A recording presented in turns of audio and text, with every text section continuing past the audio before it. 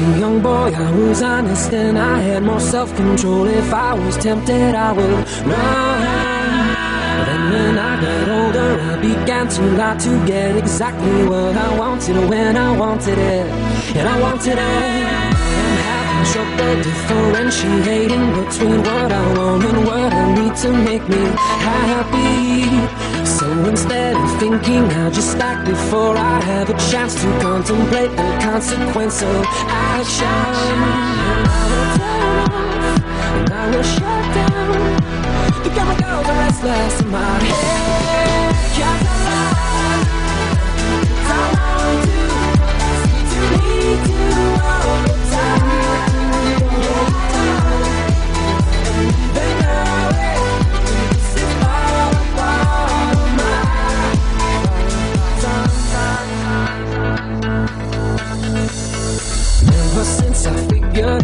I could control other people. I've trouble sleeping with both eyes closed.